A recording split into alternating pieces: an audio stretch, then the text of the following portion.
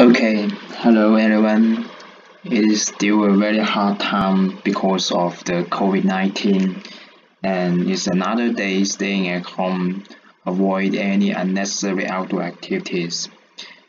It's a really a pity because the weather is really good outside, the, the sun is very shiny and the weather is, is not cold anymore. But I don't want to tell Rick to go outdoors so today I will still uh, study at home and I want to share the paper I read uh, yesterday. It is a, a new published paper. It is not published formally, but the idea is really interesting, so I would like to have a review at, at first. The paper is called Intention Propagation for Multi-Agent Reinforcement Learning. Uh, it is very interesting paper and the idea is very creative. That's why I want to have a review on it, although it is, has not been published formally. Just like before, today I will decompose the presentation into two parts. The first part is the motivation and the other is the methodology. First, let's come to the motivation. The research problem is, uh, is, is essentially a collaborative multi-agent reinforcement learning problem. Nowadays, there is a surge of interest in solving such a problem. As you can see, no matter in a transportation network where um, multiple intersections are needed to control uh, at, at the same time, or a computer network to uh, to control to uh, to load the data and transmit the data at the same time. They all need to uh, cooperate with each other to boost the efficiency of the whole network. So it is a very uh, useful application in uh, in the problem. And the most common solutions to solve this problem in multi-agent reinforcement learning is the joint policy approaches. So what is the joint policy?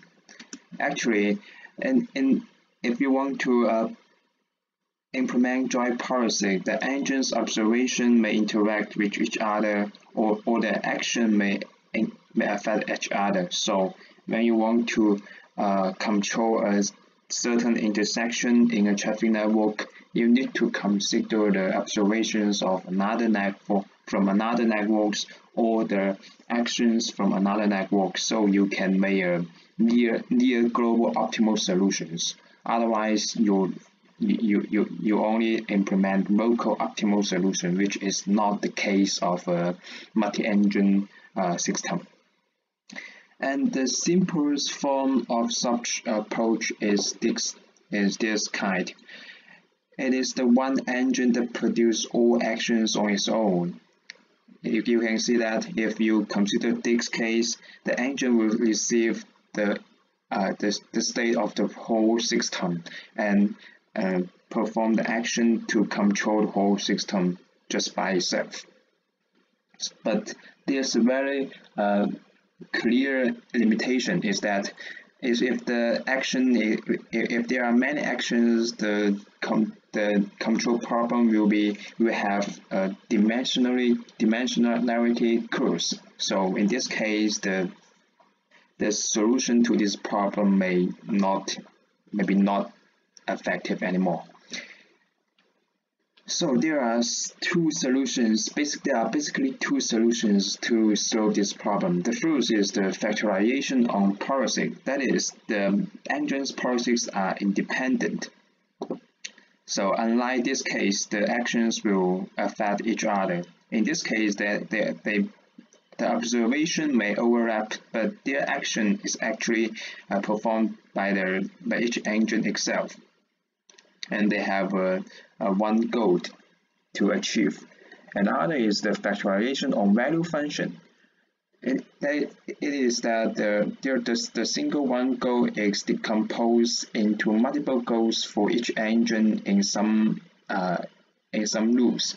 So in this way, the engine each engine can pursue its own goal, but this, but the, this the goal the summation of this goal can result in the final uh, optimate optimal goal uh, optimate goal So it is another another solution to decompose the joint policy into multiple independent policies. So you can so on one hand you can reduce the uh, dimension of the problem. On the other hand, the the optimization algorithm is more uh, straightforward. But the major problem of this part of this solution is that first, few of them consider interactions between engines. As you can see that if you have if you implement the factorization, the, the engine uh, may have uh, have local uh, policies or local observation or, or local value function. That is that is the, the ambient interaction. The other is that such consideration is only applied in discrete action case.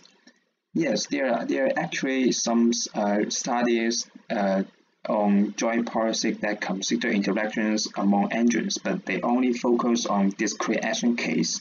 But in most cases, the problem is uh, the problem is about continuous action case because the control can be uh, any real value instead of some discrete numbers.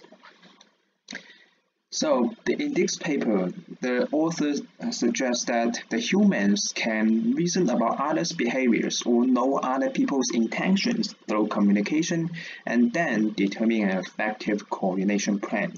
That is, that is in a multi-agent system, each engine should know what other engines will do and then uh, perform its own policy. That's that's a very uh, real scenario, and it, it is it can be uh, it, it is a it is a natural and intuitive idea. And the major challenge to achieve this intuition is that how to design a mechanism of such interaction in a principal way and at the same time solve the large-scale real-world applications. So this paper is uh, is ma mainly want to uh, fix with these challenges based on this uh, merely creative intuition. Now let's come to the methodology. Before we dive into the methodology, let's come to the basic knowledge about the reinforcement learning. At, at first, for the control problem, at first you have an initial state, and then based on this state, you have an action, and the system will evolve into a, a, the next state. That's the just like a Markov decision process. And then you continue to uh, perform action based on current current uh, state and then move to another state, then you will have a whole trajectory. That's the what the engines uh, experience. And the probability of such tra tra trajectory for a policy pi can be formulated as this.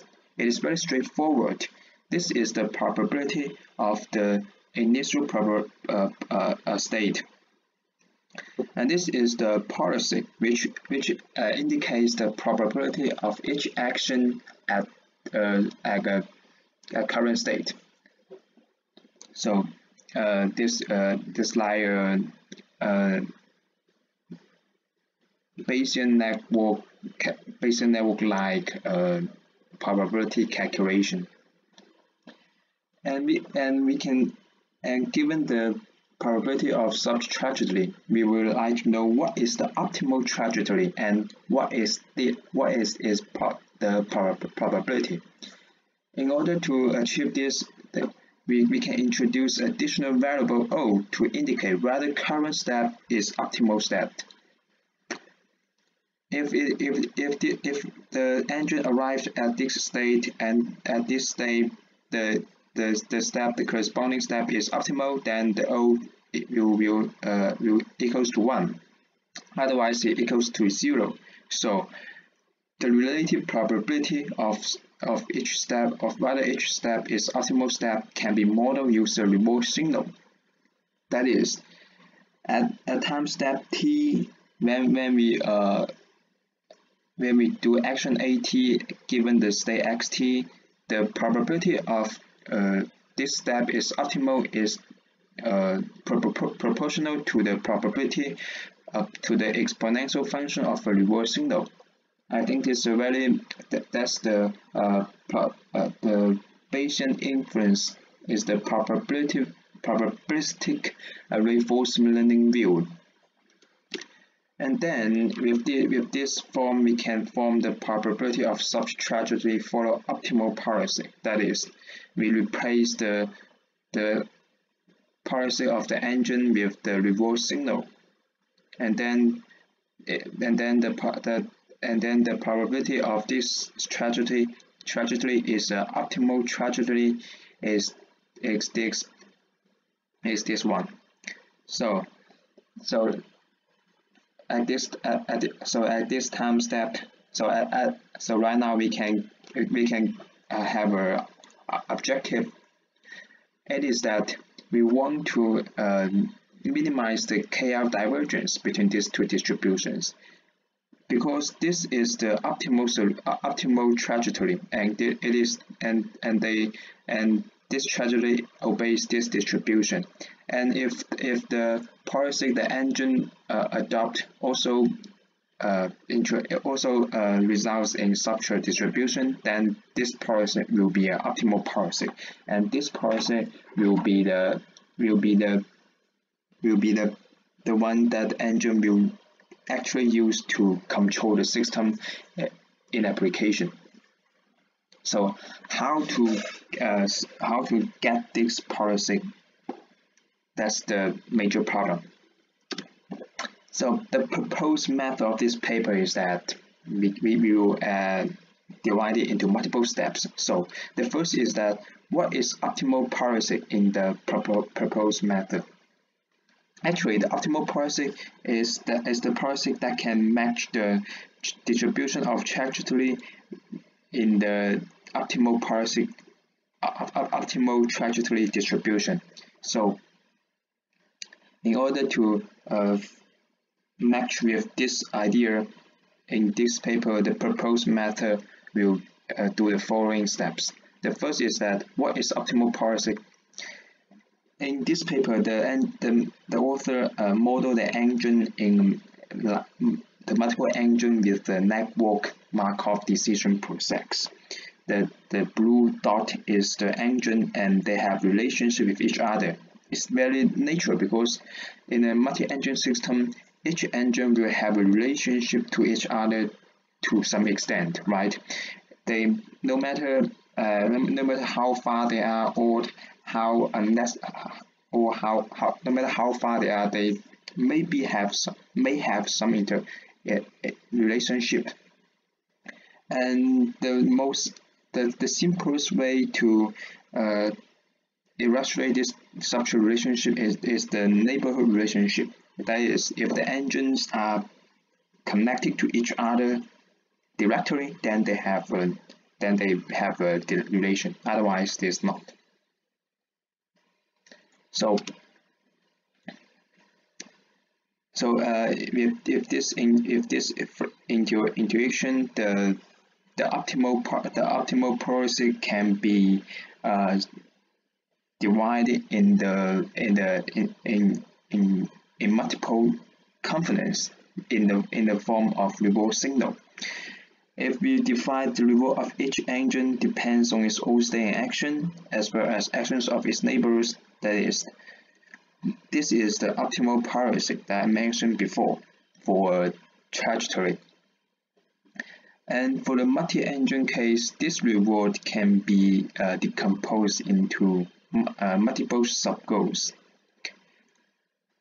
and if this if for, for each engine i if the if their their reward is related to their neighborhoods then the relationship is established so we can transform the the traditional optimal policy distribution to a, a policy distribution in the case of multi-agent reinforcement learning the major difference is that this part is decomposed into uh, multiple parts in regards to the number of engines.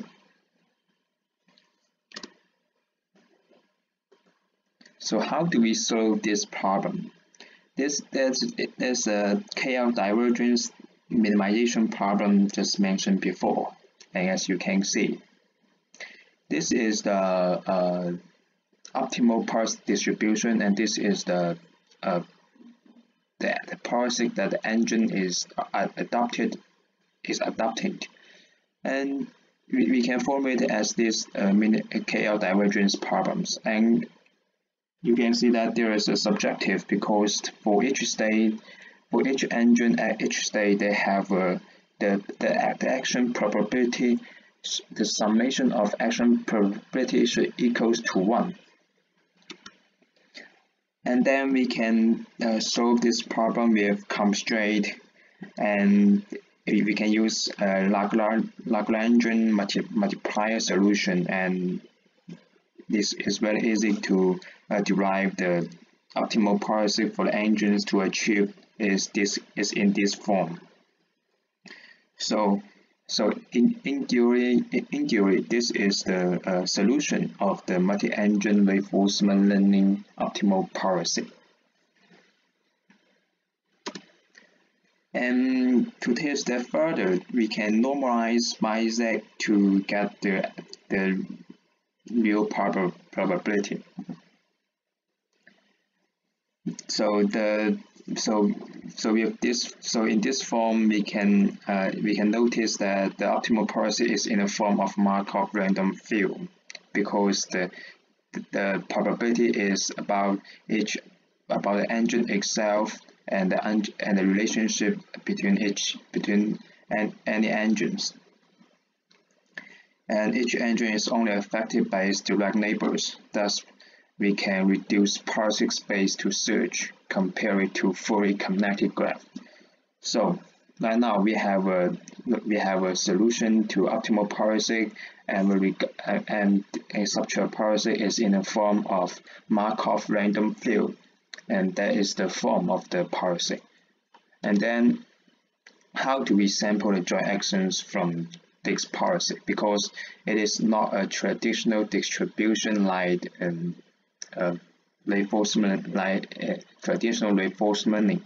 Now it is a, a Markov random field. So how do we sample joint actions from such a Markov random field? Actually, it, it, it, we can use them uh, we can approximate optimal policy float mean field approximation and that is the application of a variational inference because we have uh, formulated the optimal policy in the form of a Markov random field so we can use solution we can solve we can uh, decompose the Markov random field into multiple independent uh, probability uh, prob distributions and the solution is implemented via variational inference. For each engine, the it, the, the, the policy distribution is, is proportional to this, uh, this, form, this formula. It is uh, if you can um, adopt the variational inference method that this, this solution is very uh, easy to derive. And then actually this is this is the the action uh, other than the target engine we we want to derive policy right now. Now, now we can consider the pairwise case. This is the very simple case of Markov random field we, we can restrict the parameterization on age. In this case, the uh, the, the optimal Markov random field policy is in this form. And if we uh, plot this into this uh, formula, then we, we will have the policy distribution for each engine in this form. And, and with this and and from this, we, we have a, a single distribution for each engine, so we can perform the uh, actions sample, we, we can sample the actions. And as you can see from this part, we can we can see that the engines policy depend on others. So the method suggests that they have considered the the interactions among engines. So, in, so how do we perform updating algorithm? Because it is uh, not a traditional distribution for each single engine. Instead, the author modeled the policy of all the engines in a single neural network, or as a Markov random field framework. That is, this is the, in, for example, in this case, there are six engines. Their policies is uh, connect is interacting with, with each other in the form of Markov random field, and and they directly use such they name this as an intention network because the policy of each engine will uh, propagate to the, to uh, the connected ones. So it's, it is there is connection, and this is a Markov random field framework. So how do we do the update? Before, before we update to the update procedure, we should model the policy in the network. So the first step is that we mod they, they model policy feature based on state and other policies. For example, the before they derive the the, the policy distribution of each engine X de depends on a policy, a policy feature. This feature can be uh, calculated based on a new network in this form. This is the activator function, this is the weight matrix, this is the state the engine observed, and, that it, and this is the part of the uh, policy feature from its connected engines. And then from these policy features, they use another function to map to map these embedded features to the distribution. By this two-step, each engine can can grab their own distribution based on the, the information from others. That's, that's the global network to produce features of each other, and then the features of, of each other is take a further step to produce the and the policy for each engine and at each time step, m iterations needs to be implemented in order to perform substrate intention propagation because because if if you want to get the actions of each engine, you should let each engine to know the information from each other from each other. So they should implement uh, m itera iteration in, iteration to uh, finish this procedure. At iteration 0, engines embed policy without knowledge. That is, at, at, at, at, at, every be, at the very beginning, the engine only only have have the uh, have access to its own observation and there is there is no information from any other engines and then and at the beginning they have the uh, policy feature only based on the uh, observation state and then from iteration 1 to n we they have the they begin to have information from others. And they should implement multiple steps to uh, replicate this procedure and to gather to to uh, implement the intention propagation uh, procedure. But the number of they, they point out that the number of iteration is small but I am I, I just wonder how to determine such a number because this is a very uh, new uh, procedure that the engine that, that the authors uh, want to introduce to uh, introduce in this framework. And th and this number is just like a hyperparameter. It it is it it, it uh, it raised me some confusion. And then they can and uh, from the this is the same this is actually the the detailed sample procedure. So after grab the sample in each time step, we can have an experience in a buffer. So in, so during trade procedure, they just uh, uh, use the samples in a buffer to uh, to solve the following three uh, optimization problems. The first is the state value estimation, the second is the state action value function, and third is the policy. This is a traditional um, a probabilistic reinforcement learning objective function that you can have the have you can read in uh, the paper proposed before so I don't want to take a further step to this solution so that's the so that's all. Thank you for watching